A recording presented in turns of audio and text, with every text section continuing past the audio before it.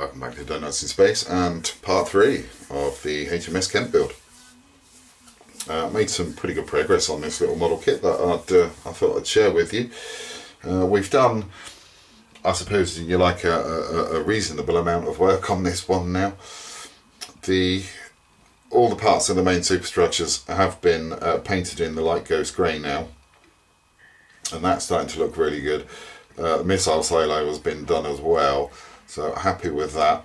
The uh, bridge section of this part of the superstructure, I had to remove the half floor that they had on there, mainly because it was too high. So uh, the poor little 1350 scale men would have been smashing their heads off the ceiling inside the bridge. So we've lowered that down.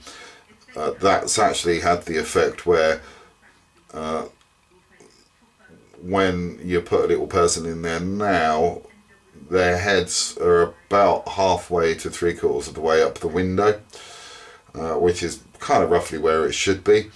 Uh, and that's what it looks like. As I say, it was only kind of that much at the forward end that you had of the floor. It was like a, a half moon, really.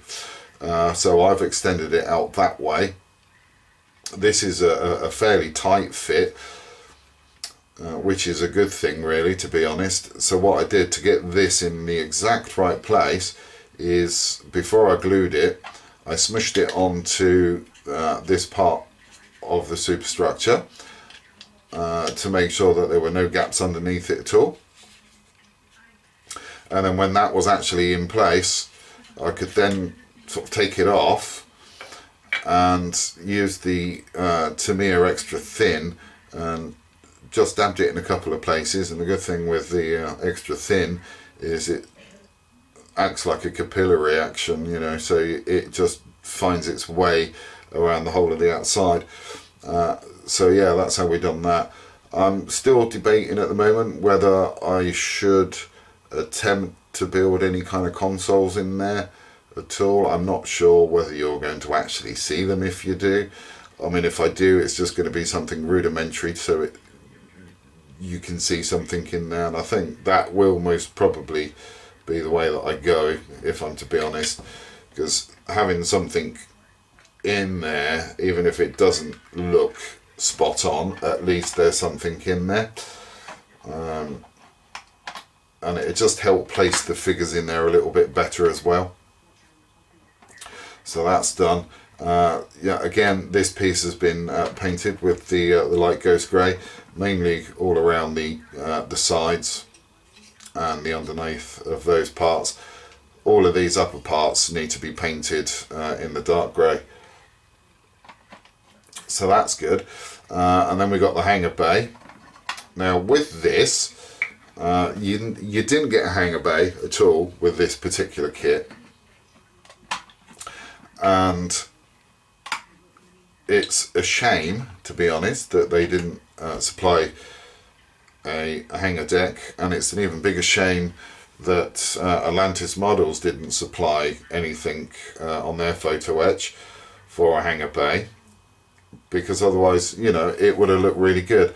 Uh, so all I've done there is I've just chopped the walkways off because they were way too small and then I just fashioned out of some photo etch that I had left over from the Defender build.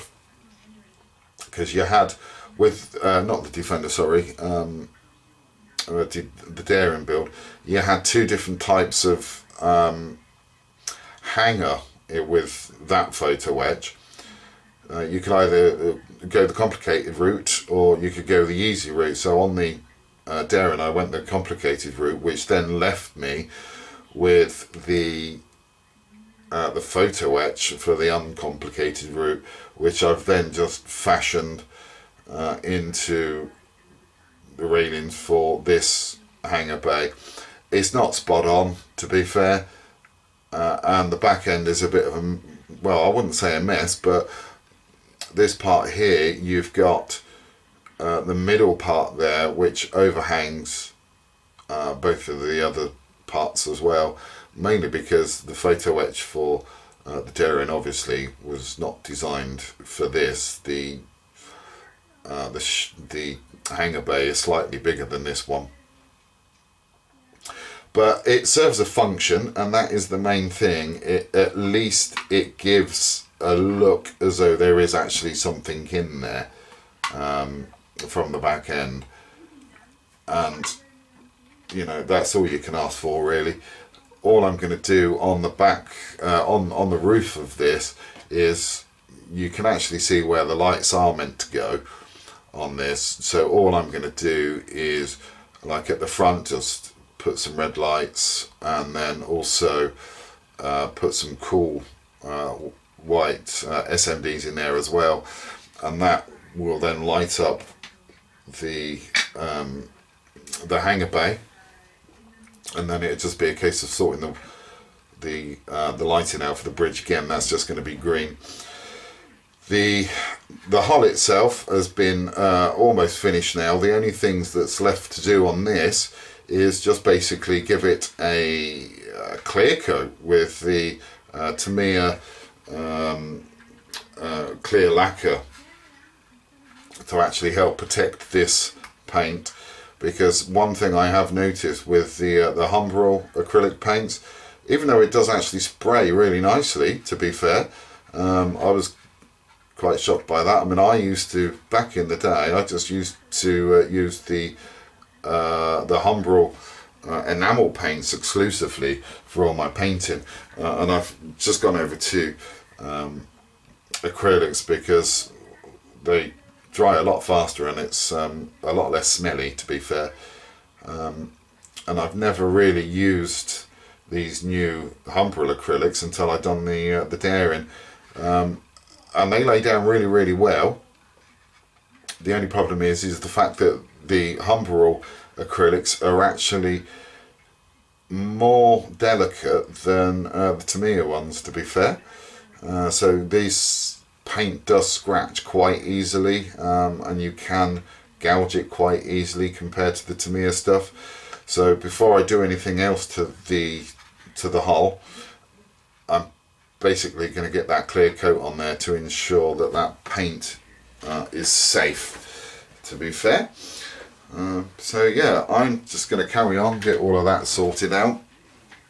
Oh the other thing I don't think I've actually shown you um, and I don't think you're going to see at the moment to be fair. But um, I have uh, put a little figure in there at the back and again those little railings didn't come with the uh, the kit for this. Uh, that's again stuff that was left over from the uh, the Daring build and so I just kind of chopped that up a little bit and got that in there. So we've got a figure in there and we've also got some um, red SMDs in there and also some cool white SMDs in there to help light that bit up.